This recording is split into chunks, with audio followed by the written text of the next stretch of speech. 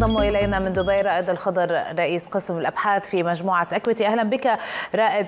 يعني طبعا الخبر الأبرز الذي تترقبه جميع الأسواق هو المحضر الفدرالي أو ربما البيان الذي سيقوم بإلقائه جيروم باول لاحقا اليوم.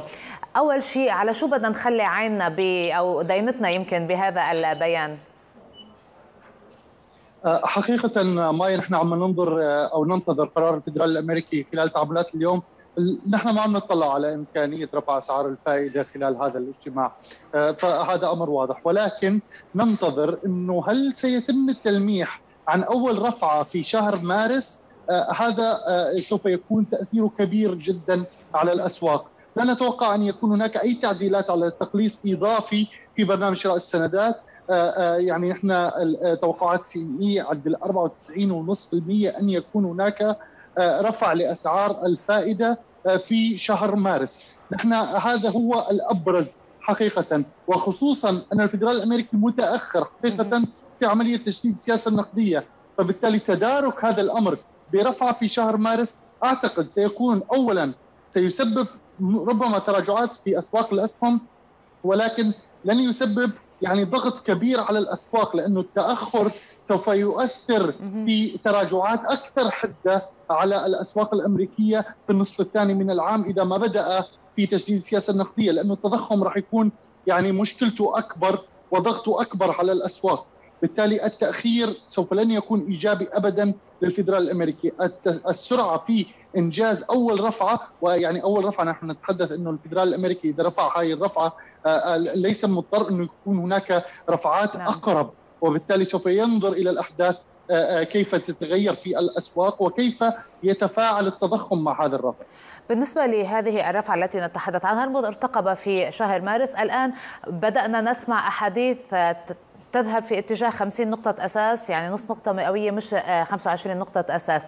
وأيضا رأينا حديث في اتجاه ثمانية رفعات خلال هذه السنة وكل واحدة منهم ربع نقطة مئوية كل واحدة منهم 25 نقطة أساس. يعني هناك اختلاف واضح في التوجه الأول الذي كنا نسمعه من الفدرالي والآن التصريحات من قبل الكثير من المحللين أيضا بعضهم مقرب إلى الفدرالي شو عم بيجربوا يعملوا؟ عم بيحاولوا يشوفوا شو بدها أو آه، شو اللي ممكن يصير بعدين؟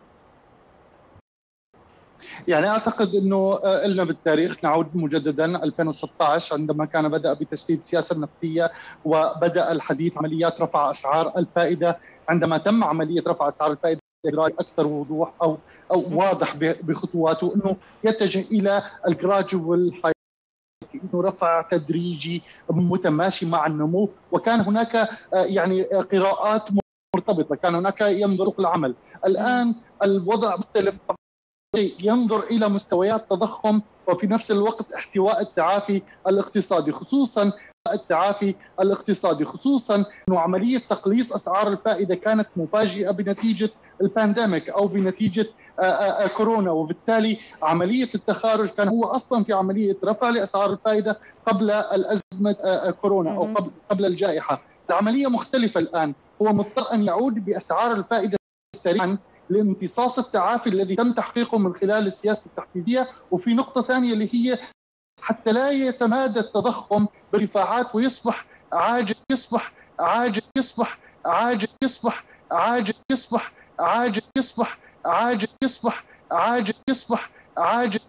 بعيد جدا عن مساهميه بعيد جدا عن مساهميه بعيد جدا عن للاقتصاد. سوف يكون هناك خروج للاقتصاد. سوف يكون هناك خروج للاقتصاد. سوف يكون هناك خروج. كما يتحدث جيروم باول وهذه هذه إيه هذا الحديث سيكون مميزا. دائما نترقب بعض الكلمات. يعني تغيير كلمة من دوفج إلى هوكش كنظرة للاقتصاد الأمريكي أو كنظرة تعامل الفدرالي مع الاقتصاد الأمريكي. ما هي الكلمة التي سنبحث عنها في آه، في تصريحه اليوم في كلمته اليوم؟